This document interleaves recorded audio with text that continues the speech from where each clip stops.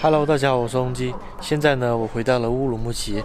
我也是万万没想到啊，在这边的话，嗯，之前有一个朋友跟我玩的挺好的，我还以为不回来了，就跟他打了招呼。因为我当当时的计划呢是直接到喀什，然后呢再从南疆那边绕回去。没想到我我自己的身份证的话是去不了的。整个新疆其实可玩的地方还是很多的。之前我去逛了一下大巴扎，其实大巴扎现在的话完全已经偏商业化了。跟大家透个底啊，在新疆乌鲁木齐这一片呢，有比大巴扎还还好玩的地方，但是你能不能进去玩呢是一回事。只要带有边疆两个字的地方，都可以深入的去了解一下。比如说边疆宾馆啊，边疆农贸市场啊，边疆干边疆干果批发市场啊，这一系列的都可以慢慢去玩。现在我所在的地方呢，就是边疆干果批发市场，这里呢就集合了全全新疆最好的资源都在这一片可以找得到。比如说我我之前想去阿图什，阿图什那边的无花果干，还有南疆的和田大枣，还有吐鲁番的葡萄干，还有呃巴旦木这边也有。等下呢？呃，我是因为丽琴啊，丽琴的话给了我一个比较重的任务。她最近大家都知道啦，怀了宝宝之后呢，说是吃坚果对身体非常有好处，所以我等下呢就去找一点坚果给她。嗯，来新疆之前应该快到新疆吧？那时候也有一个网友就是跟我说了一句非常豪横的话哦，因为他是应该是国人吧，然后他出到海外了，现在是回不来，但是很很怀念新疆这边的。干果的味道，他说无论价格多少，只要买最好的，我会给你买。整个物产园其实应该在那一片吧，非常多地方可以逛的。今天我也不着急，主要是跟商户他们老板先打个招呼，可以慢慢走，慢慢逛。太大了，搞得我都跑错了。这边才是干果批发，整一片。全部只做干果，外面那一片呢还挺多搞餐饮的，可以在外面吃饭。慢慢逛，今天时间多。现在是在其中的一个专门做香妃的档口里面，红香妃、绿香妃。红香妃的尺寸的话，比绿香妃还是要大很多。没有小的，手工漂。手工漂，哇！真的是极品，而且里面的肉质非常肥厚。其实红香妃跟绿香妃两种呢，都是同一种果子打的，叫白吉星，只是它们的晾晒过程工艺不一样。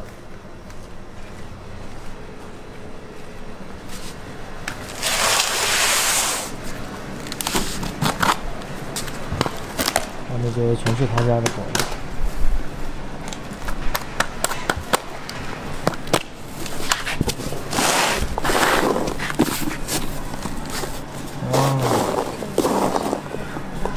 这是最大的了。嗯，哈密的。哈密，吐鲁番那边的吗？吐鲁番的不好吃，哈密的最好。相对他们那种还是要稍微小点。这就是绿香妃。还有一。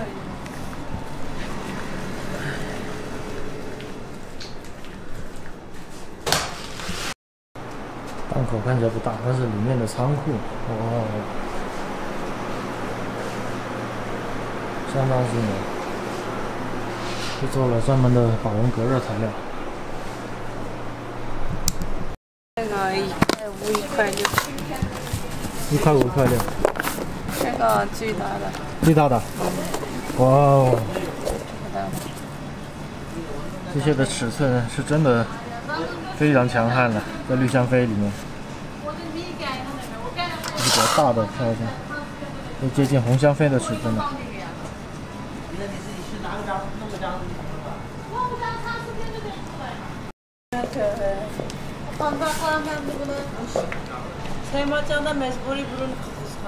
基本上每个都有半截手指这么大吧？可以试一个吗？吃，随便。我也吃了，打开新箱子吗？我也。打开先吃一点啊。这个好吃，口感好的。嗯。我也吃了。很软糯。一嘴进去就是口腔里面爆出来那种玫瑰花的香味，所以它叫做香妃。但是因为尺寸的区别，它大的跟小的的话，它的价格差距非是非常大的。最大的应该跟小的差距有三倍左右吧。而且它里面是没有核的，口感非常不错，又软又糯。轻轻一掰，不像内地买的一些葡萄干，它是比较硬的。像这种的话，非常软糯。这个起盒子的，不是哈密的。嗯，那吃起来会有区别。嗯，起盒子的。但是口感这个更甜。嗯，哈密的好吃。我也是觉得，确实是哈密那边好吃。就是哈密好吃。这个也好买，黑美人。黑美人，它糖分高不高？哪种是糖分比较低一点的？就这种你可以尝尝，这也口感香，我喜欢这个。这个黑香妃，这个也产的，嗯。这里。随便一个就把那个香妃的味道给盖住了，把绿香妃味道盖住盖住，都是很浓郁很香。而且比起我之前幺九年把来这片买过。那时候吃的话比较干一点，现在吃的话比较软糯一点，我觉得刚刚好，那口感是刚刚好的。那个客户没？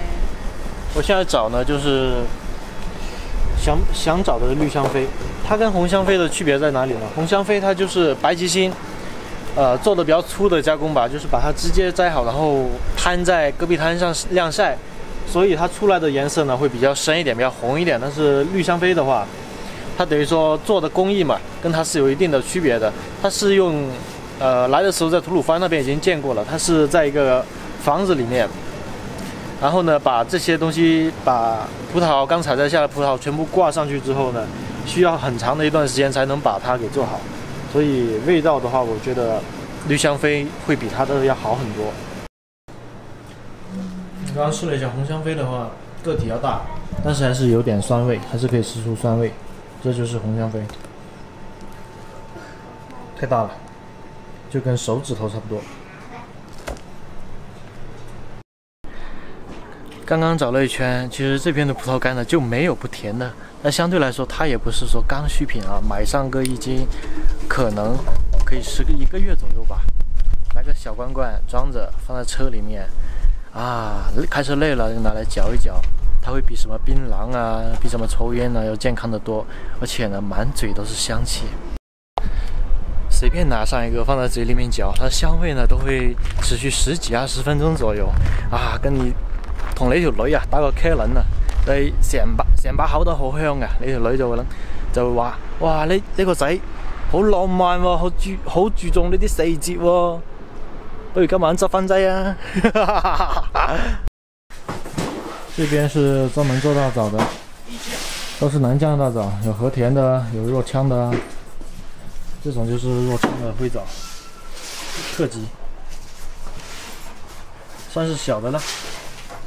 和田的要比这个还要大很多，有这么大。要把正在拿在前面全部展示一下，不同等级、不同尺寸的饺子，不同产地的。都有。天上嘛要小得多。按等级排序。哇，这个太小了。二级果。二级。这个呢？一级。这个算是一级果。这个呢？这个是小特级。小特级。啊。这大特级。大特级。都是弱枪的吗？呃，这是皮山货。啊，皮山货光弱强他妈走。P 三货，没有发货包了。没没。做 P 三货的品质最好。哦，这个和田，啊对，和田大枣，啊，这就是网上的心心念念的和田大枣。拿个大的，还有还有，还有更大的，还有更大的。这已经算小了，跟一级果比的话，哇，尺寸差差距好大。这个也没那个大？那个现在，嚯嚯嚯嚯嚯！就这么大。还有那个大的，现在走走过了，那那感觉这个尺寸就跟那个什么小苹果是一样了。它它如果没有晒干的话还要大一点，现在已经是晒干了的尺寸，这就是和田大枣。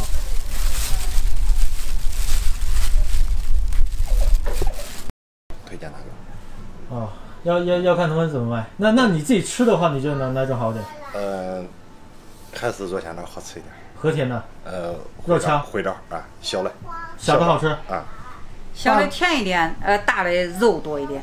哦，可以可以试一下吗？嗯。我挑挑个小一点的。一般情况下，他们需要的都是灰枣比较多一点。这是回枣。啊，就那种。回枣哦，回枣。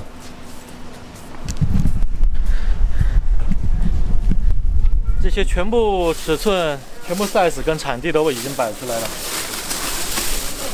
试一下，这个是和田大枣，这是灰枣，味道还是会有一些有一些差别的。但是老板的话，他自己都是吃这种灰枣，我就觉得灰枣肯定要比它要好一点。对，和田枣它那个肉厚。嗯。灰枣嘛，甜度高。好吃哎，口感软糯。香，就是肉香吧。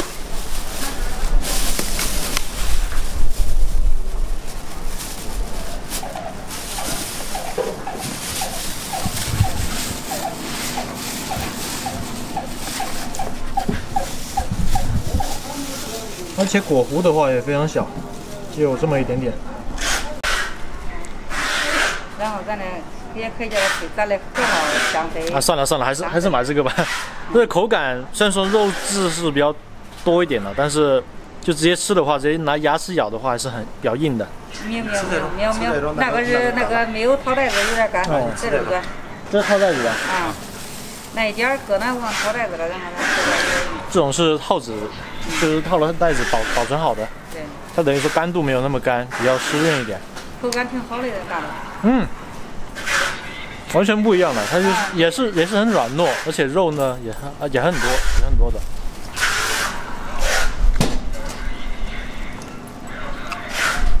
我感觉两种都可以，但相对于而言啊，大的话口感上面会比较软和一点，然后呢肉质多，但是甜度各方面是没有那么高的。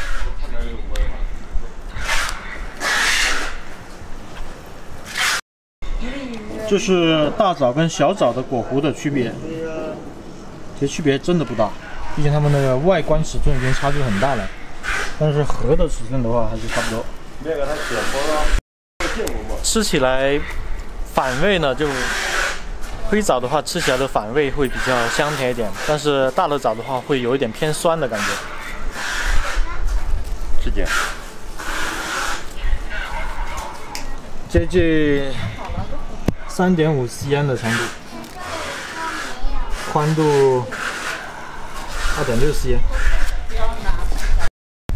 这个已经是最大的尺寸的灰枣吗？对。拿来拿来摆的话，还有还有比这大的。拿来摆的话，就是过年过节可能摆那些大枣呢，会比较对客人来说比较好看嘛。但是吃的话，包括当地人，我之前也是问了我的那个朋友。他也是觉得最好还是卖灰枣吧，因为口感各方面太香了。这要买北京的，就是微波小孩把这一包装这个库房厉害了。一会儿你再在那。就是一百平方的，一百平方的房子够你用了。嗯。咱后面那大库房也可大了。这种呢是无花果干。阿图什那边的要比这个要大一点，这个不是阿图什那边产的，但是它有一个好处啊，就是，呃，我小时候就经常运动完嘛，就去打篮球啊，去打乒乓球啊，打累了我就到石板上面坐着，这样的前列腺就容易出问题。我是最近才开始关心这个问题的，因为常常坐或者说不运动的话，就是会导致前列腺出问题的。但是当时我妈妈呢就去给我没有给我吃药，因为吃药的话大部分是不管用的，只有无花果干。在哪呢？一一天吃个一两个无花果干，再干个两倍的水，那那个反应一下子就能下来，就像尿频、尿不急、尿不尽呢，很快就能得到缓解。其实无花果也是一个好东西啊。在哪儿呢？现在都卖二十多。在哪儿呢？可以呀。这是哪里产的？阿克苏。阿克苏纸皮核桃，就轻轻这么一捏都没事。在在已经开了，啊，你捏连开。美女都能捏烂。我我我还不用你的手劲呢。来看，我给你捏一个，来，看，一捏碎了。嗯这是阿克苏的核桃。对，阿克苏的纸皮核桃。马上。不能像你那样子捏，你像你那样子不行不行，我我我我捏碎了，对不起对不起。不是，浪费妈太多。浪费太多，它一弄就全部都粉了。对我们自己吃你。自己吃那样的情况下也不行。哦，对对对，试一下这个。主主要是自己不会。对，来，你看我摆，嗯，好吃。嗯，真好吃。人子白白的。白白的，哎这核桃好吃薄的很啊。这个核桃不赊，甜。这这核桃好吃，甜的。我在大凉山那边遇到过核桃，但是那种的话非常的难砸开，都是野生的嘛。好啊，这种是阿克苏的。可以来吃西瓜先说。哎，这核桃也想吃苦。嗯。来。啊，确实没苦味啊。好。来，新疆的西瓜。那 是，来，下吧。确实是没有苦味。香。对，它它它本来的核桃是有涩涩的味道，但是这个现在这个涩味比较淡。哎，怎么办？新疆好东西太多了，我感觉我都出不去了。就来这边试东西都能把自己给试饱了。我刚路过的时候，我以为这些是什么？全部是哈密瓜。这是我们现在是吐鲁番那边的瓜，现在已经是盛产的瓜了，吐鲁番瓜已经结完了。这盛产的夏雨地的瓜，我们这只是一个仓库，我们四个仓库。哦，啊，这是这只是就是那个仓，这家仓都是在那个在那个果品库那边和和那个韵达那边在在在发，那边都大仓。我看你们量也很吓人哦，一天一天好几千件一，八八九件，一万八千，一万九，一万八一万九一天一天，对。一件大概八到九公斤。呃，有有六到七的，有七到八，有八到九，有三个标准，哦三个标准，就看客户他要什么，我们给他提供什么。基本上都是四天之内全国到，除了呃那个西藏、港澳台和疫情疫情地区不发，其他地方全发，一直能发到十月底。我现在找的呢是市场的内部呢，在外部的话，之前想想去跟他们谈，但是怎么说呢，人家 人家的地理位置好，生意就自然很好，人家根根本就不想理你那种。到了这边啊，随样品随便吃，还给你水果，还跟你聊很多，甚至连仓库都给你找好了。我们如果要长长期发货或者发很多货的话，他们那边可以直接打包发货。其实来批发市场的话也有好处吧。嗯，如果去去到农户家里面收呢，各方面他们的尺寸是一尺寸是相对来说没有那么整齐，没有筛选好的。第二，它的品类比较单一，而且去找物流呢会比较麻烦一点，打包各方面自己还要比较操心，比较操劳一点。但是来来这个整个市场上面里面的种类的话，随便找，大几百种的干果类啊、坚果类啊，随便随便都有。我刚刚也试了一下他们的巴旦木，味道还挺不错。啊，今天算是找了两个多小时的货吧。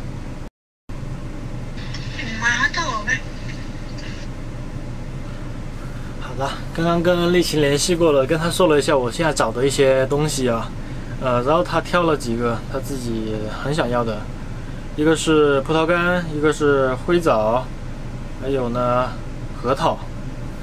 我想着明天的时候我再把这些东西给他寄过去吧，因为这些批发市场啊，它是不对不对外销售的，比较小的量，人家就根本就不想搭理你。你拿货的话都是按一件一件的拿，嗯。然后我想着，如果网友们需要的话，我们这边也是可以帮忙买。当然，现在交通方面会便利非常多啊，价格也是比之前卖枸杞啊要便宜很多。到香港。澳门的话是寄集运仓，然后大家需要自己找一个自托运的场所。好了，今天也找了六七家，终于确定好了我们要呃要的货，还有甚至物流打包的仓库，人力都已经完全规划好了，也找了很多家货，很多种产品做了对比，确确实实是非常的不错，而且价格也比较实惠。这个实惠呢是相对而言实惠啊，因为我的那个朋友呢叫我找的话，就去找最好的，我都是挑的最大的尺寸，然后最健康、最环保的，都是天然晾晒的产品，所以没得对比就没得伤害啦。高矮胖瘦都有，但是吃起来的话，它也是差距啊，包括外观啊，差距啊都是很大的。就像如花跟秋香一样，都是女人，但是。哪个比较哪个比较好呢？大家心知肚明啦。像现在的话，物流各方面控制也比较好一点吧，因为这里毕竟是一个省会城市，可以做到呃全全国大陆都可以寄过去，也可以做到包邮。嗯，相对于港澳台的话，港澳台需要自己再找一个集运仓，但价格也是很便宜的。呃，新加坡和马来西亚现在也是可以寄，欢迎大家先来咨询。好了，喜欢我们视频，请关注我们哦。